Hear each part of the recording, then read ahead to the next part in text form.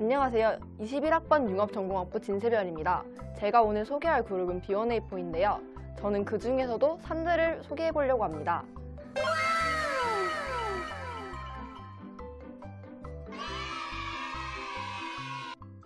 저희 산들이는요, 진짜 정말 탈 아이돌급 노래 실력을 가지고 있고요.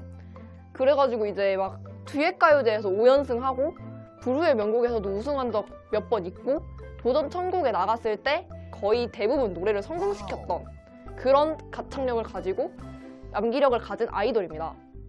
어, 그리고 저희 산들이는 진짜 진행을 잘해요, 솔직히. 옛날부터 잘한 건 아니었는데 이제 별밤 DJ도 맡고 어, 그, 그 멤버들끼리 같이 예능 찍는다거나 하면은 MC를 산들이가 맡아요. 산들이가 이제 말을 재밌게 하고 그냥 멤버들하고 사이도 좋고 하니까 산들이가 하는 건데 진짜 산들이 별밤 들어보시면은 정말 예능 잘하거든요. 멘트도 그렇고. 어 그리고 우리 산들이는 되게 순박해요. 되게 어 사람들이 정말 어 얘가 진짜로 이렇게까지 탑 아이돌이라고 할 정도로 정말 순박해요.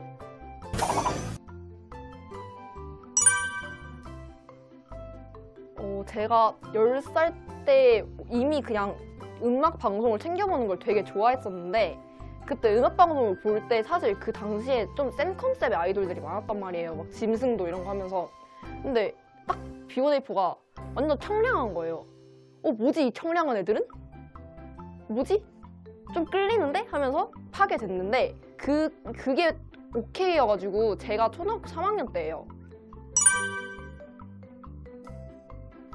어, 사실 저 같은 경우에도 원래 고향이 경상도 쪽이라서 사투리가 좀 있었는데 산들이가 사투리 고치, 고쳤다고 생각을 하고 열심히 말을 하는데 사실 거의 안 고쳐졌거든요.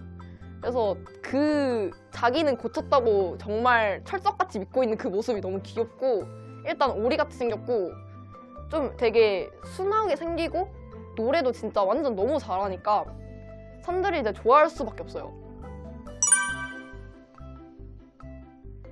산들이 가장 큰 매력 포인트는 일단 아직까지 부산 사투리를 고치지 못했다는 점. 부산 사투리가 저- 여전히 심하게 남아있다는 점. 그게 바로 매력 포인트고요. 아, 물론 표준어를 쓰거나 녹음을 하거나 연기를 할 때는 표준어를 써요.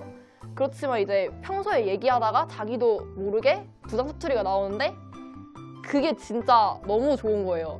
그게 바로 산들이의 매력 포인트입니다. 그 옛날에 사실 과거 사진을 좀 유명하니까 아시는 분들도 있을 텐데 그 마법의 안경 짤이라고 있습니다. 그 마법의 안경 짤 때문에 사실 산들이 성형 의혹도 받았었는데요. 성형 의혹 전혀 아니고요. 사실 지금 산들은 안경을 안 쓰는 이유가 렌즈 삽입술을 했기 때문에 안 쓰고 있습니다. 근데 이제 안- 렌즈 삽입술 하기 전에는 시력 검사를 하면 마이너스 13이 나올, 나올 정도로 시력이 안 좋았다고 해요. 그래서 성형을 한 게 아니고 안경이 문제예요, 안경.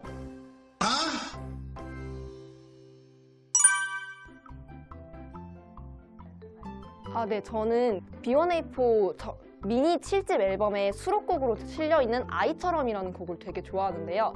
이 곡이 사랑 노래가 아니고 좀 현대인이 바쁘게 살아가잖아요. 근데 아이는 이제 시간이 많으니까 천천히 살아가는데 나도 성인 말고 아이처럼 좀 시간을 천천히 살아가고 싶다. 뭐 그런 내용을 담은 가사고요.